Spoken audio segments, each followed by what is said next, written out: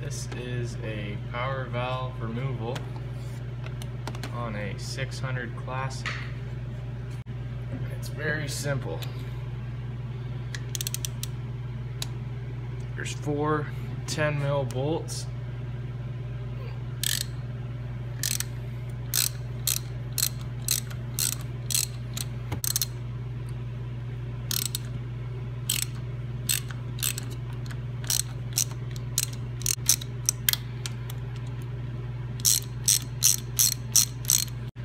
And just crack these two loose for when you remove your cap later on.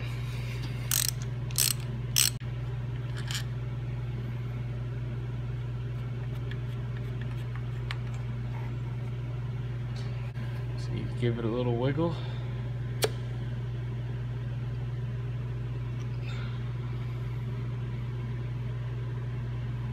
There it is. Now we're going to remove all this carbon. Now you can remove these two bolts. They're 10 millimeters. Then this cap will just pop off with a spring.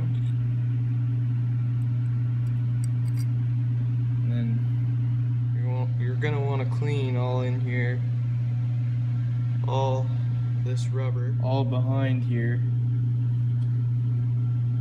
power valve itself, the underneath, the bottom. And you can use carb and choke cleaner. If you don't have that, brake and parts clean. And to reinstall them, you're gonna wanna make sure this gasket's all right here. And then you just install it the same way that it came out. Not like this. Just like this. Same way it came out.